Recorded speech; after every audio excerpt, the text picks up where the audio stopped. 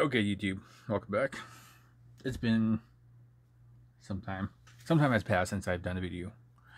But in that time, if you guys have been on Instagram or Facebook, you guys known I've done this piece. The buffalo coin purse with the rose, multicolored rose, I guess, on the other side. It was all done in size 13s and 15s as well, but mostly size 13 Charlottes has a lot of beads. This roughly weighs six and a half ounces. Especially with the interior, everything assembled with the buckskin inside. Has suede side on the outside. The smell is incredible. It does have metal zipper on it. It's all hand sewn together. And yeah, it's not bad. As you can see, it's pretty well constructed. Especially under the lights here it's pretty nice. That's a nice facet but I just wanted to show you guys the final result and product. Because yeah the measurements on this is about six and a half six inches. Let me bring this out.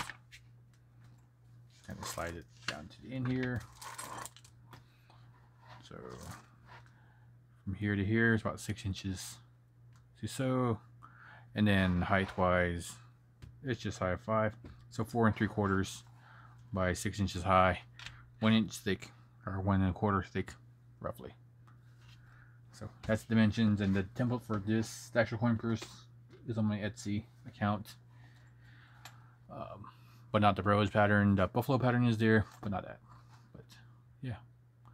It took me 20 days to do roughly 10 to 8 hours a day so 160 hours to 200 hours to complete this in total.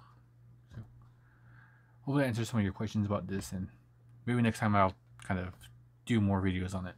I just didn't have time because I was sick and kids and stuff. But anyways, hope you guys enjoyed that little video and thank you guys for watching. Hope you guys enjoyed that. Maybe I'll do like a little montage of I don't know pictures I took during the process. But um, thank you guys for watching. See you guys next time.